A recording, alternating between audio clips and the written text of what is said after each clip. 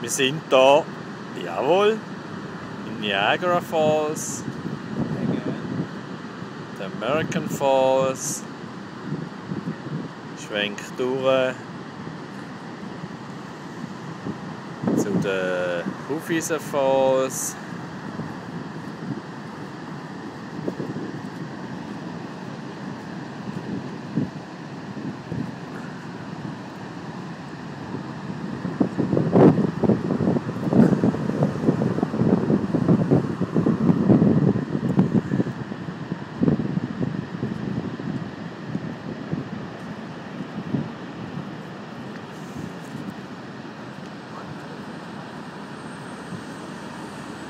Da sieht man die Skiwerfer im Hintergrund, das brauchen, um mal das Zeug zu beleuchten.